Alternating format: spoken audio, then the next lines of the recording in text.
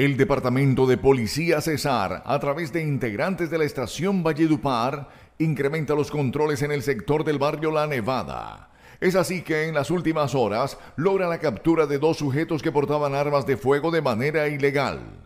La primera captura fue realizada en la calle Quinta con carrera 46 del barrio La Nevada, donde Alejandro Santiago Céspedes, de 21 años de edad, en un registro los uniformados le encontraron un arma de fuego tipo artesanal calibre 5.56 color negro con un cartucho calibre 5.56. El capturado fue dejado a disposición ante la Fiscalía en turno URI por el delito de fabricación, tráfico de armas y municiones.